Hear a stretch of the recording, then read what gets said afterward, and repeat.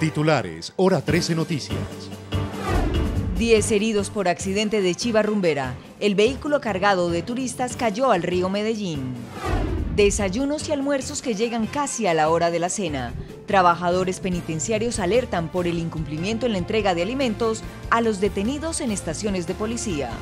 El Tribunal Administrativo de Antioquia admitió una demanda por la restricción del paso de motocicletas en el túnel de Oriente.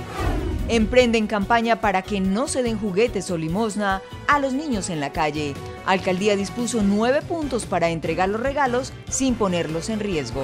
Eh, se nos han incrementado eh, por la temporada globos eh, en, en horas nocturnas, pero también en horas diurnas. Los globos no solo son una amenaza de incendios, también un riesgo para los aviones. Si Jim, Fanny Luz, Jean Paul o Cari son algunos de los sin tocayo que encabezan la lista de los nombres más raros de la registraduría.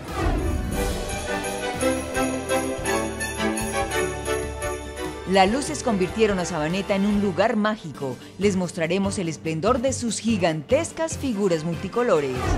Noticias en el DIM. Contrató tres nuevos jugadores y anunció a qué le apunta en la próxima temporada. Mientras el fútbol profesional descansa, el Atanasio trabaja para cuidar su cancha. El pesebre móvil de San Pedro de los Milagros, un regalo para despertar el espíritu de la Navidad. Pod Armet, la llamativa muestra de 22 artistas en el barrio Manila. Y cerramos nuestro postre con lo más reciente de Nacho. Corazón de piedra y